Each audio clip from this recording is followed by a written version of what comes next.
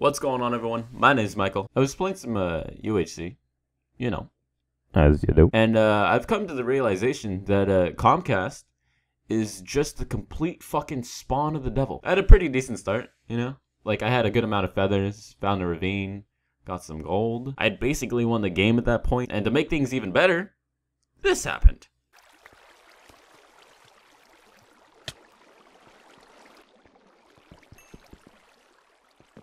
Now, at this point, I'm thinking to myself, Free kills. because I mean, let's be real here. Ain't nobody killing me in this ravine. Comcast decides, hey, you know what I really don't like? Michael. Let's just take a big fat shit on his internet. So I uh I time out. Uh thankfully I come back in time to see that one of the players had killed herself and the other one's still thinking, I got this, you know, easy kill. Yeah, I, I, I got this. So, so I'm just gonna let this play out.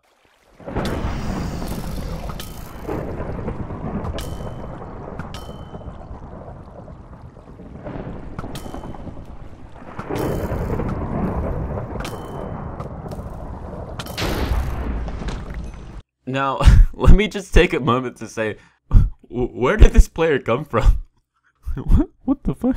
Anyways, make my way out of the ravine, find another player, and, uh, well.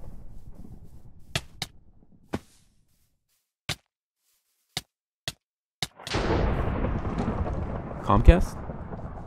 I'm coming for you! I take a break. Um, because I know damn well that the uh, fuckers at Comcast Enterprises is gonna be pulling this shit on me all day. Fast forward to the next day.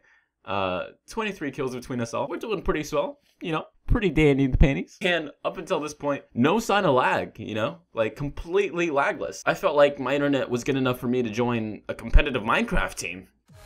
Oh god. Please. No. Dear God, no! Now, Comcast was probably sitting on their asses, you know, watching me play the entire game. oh god. Watching me play the entire game, waited for me to get to deathmatch, and then was like, shit on his internet. Big fat load, Jerry. Just fucking unload all of it. And, well, Open. Got lag switch, kid.